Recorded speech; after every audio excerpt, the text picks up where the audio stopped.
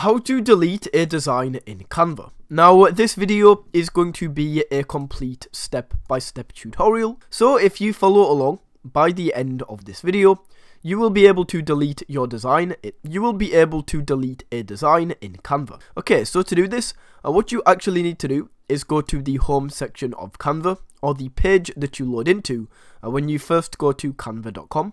And let's just go down and imagine that I want to delete this, this design right here. So to do this, all you need to do is hover over the design and click on these three dots in the top right corner. And then from here, just go ahead and click move to trash. Now as you can see, this says design moved to trash. So all we now have to do is go to trash at the bottom. And then from here, what we can do is once again, click on these three dots, delete permanently or restore.